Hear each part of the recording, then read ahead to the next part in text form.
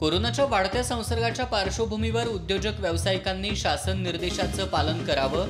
औद्योगिक संघटना प्रतिनिधींच्या बैठकीत पालकमंत्री सतेज पाटील यांचं आवाहन. जिल्ह्यात रेमडेसिवीर इंजेक्शनचा ठणठणाट इंजेक्शनचा काळा बाजार रोखण्यासाठी नियंत्रण कक्षाची करण्यात आली स्थापना. पोलीस निरीक्षकानंच आत्महत्येचा प्रयत्न केल्याची बातमी सोशल मीडियावर व्हायरल. मात्र तशी कोणतीही घटना झाली नसल्याचं जिल्हा पोलीस प्रमुखांनी केलं स्पष्ट.